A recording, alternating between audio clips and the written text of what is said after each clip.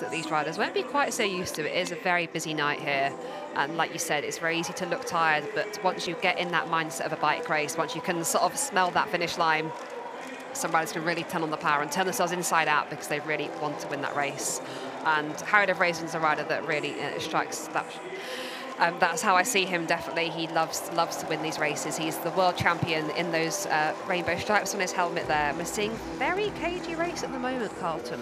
Well, we haven't been able to see a track stand because all of the sprinting has featured three riders, and you don't normally get it because it would take uh, all three of you to uh, want to go for the same position. It's more difficult to arrange, and here comes Nicholas Paul. Now, is he going to take his man up to the rail. He does so. Now, the uh, the problem for Liv and he's gone early.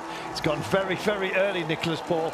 This is hyper early. Now, Liv may well have been fatigued out of this. Let's wait and see. It's a lot of rush. I think he's too far back. I think he's too far back. Here's the 200. Here goes Nicholas Paul. It will take a very big man to beat him at a moment such as this. The crowd know this as well.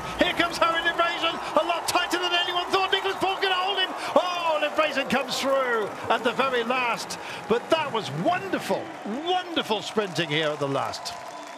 That really was wonderful. I love that Nicholas Paul went early like that. Really took the race to Harrie Lavreysen, made him work ever so hard there.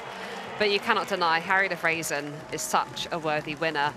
Leading this competition overall, multiple world champion, Olympic champion, and he's taken that victory again tonight. Nicholas Paul gave it everything, tried out a different tactic. Love to see that, but not quite meant to be tonight. Harrie Lavreysen, he is the man on stellar form at the moment. How can anybody beat him, Carlton? I don't know. And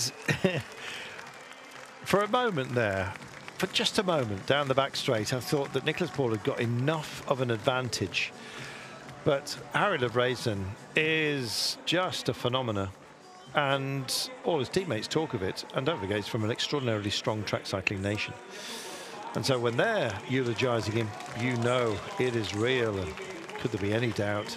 In the end, half a bike. Nicholas Paul, though, tactically did nothing wrong there. He did everything he had to do and got close. Yeah, he did, and I like that. I like when a rider tries something different, goes goes for a long one in a sprint.